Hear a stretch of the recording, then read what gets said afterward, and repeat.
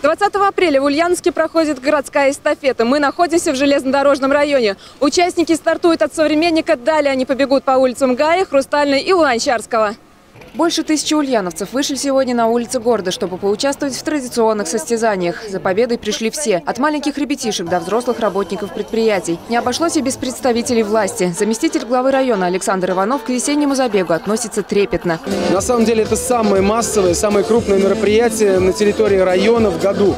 Поэтому мы к нему готовимся задолго до и очень долго после этого бушуют страсти. Построение, приветствие участников и танцы групп поддержки завершились. Пришло время поднятия флага Российской Федерации. Этим занялись ребята из команды победителя прошлогодней эстафеты. Официальная часть плавно перешла в соревнования. Первыми стартовали малыши на велосипедах. Далее школьники и студенты. Дистанция 650 метров оказалась непростой даже для физически подготовленных людей. Старшеклассники из 11 лицея Евгений и Михаил поделились впечатлениями. К слову, они пришли к финишу в пятерке лидеров.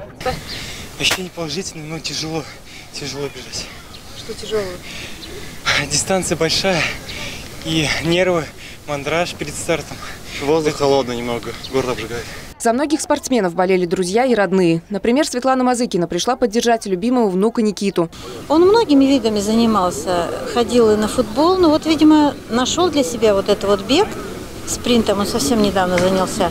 Горожане преодолели дистанции и ожидают оглашения результатов. Но если заглянуть в недалекое будущее, то расслабляться еще рано. Через неделю нас ждет областная эстафета. Она состоится 27 апреля. Виктория Черкова, Александр Кудряшов. Новости Ульяновской правды.